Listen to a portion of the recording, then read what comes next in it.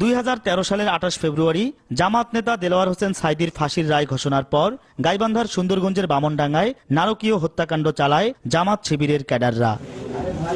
শুধু তাই নয়, তারা বামনডাঙ্গা রেল স্টেশন পুড়িয়ে দেয়।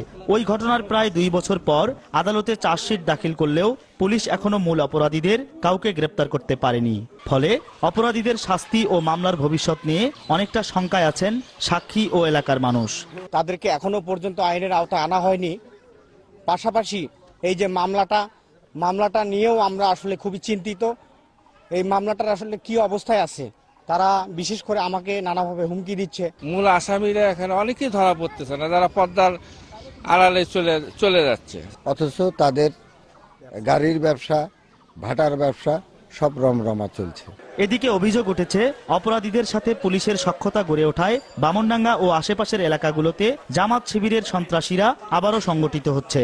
এমনকি ক্ষমতাসীন দল ও পুলিশের সহযোগিতায় তারা প্রতিষ্ঠানের নাম বদলিয়ে সরকারি সম্পদ ব্যবহার করে ব্যবসা করছে। পুলিশের সঙ্গে সক্ষতা করে সরকারের অর্থ সম্পদ রাষ্ট্রীয় সম্পদকে ব্যবহার করে সরকার উৎখাতের ষড়যন্ত্রে কিন্তু আজকে লিপ্ত রয়েছে। ওনারা ওই আসামিদের কাছ থেকে উৎকোচ গ্রহণ করছে।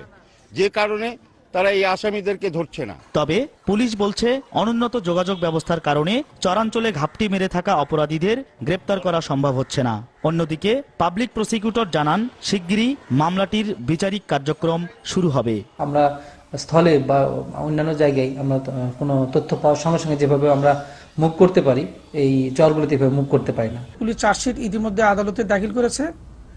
তা আগামী ধার্য তারিখে জুডিশিয়াল ম্যাজিস্ট্রেট মহোদয় চার্জশিটটা গৃহীত করবেন এবং গৃহীত করার পর মামলাটি বিচারিক কার্যক্রম শুরু হবে।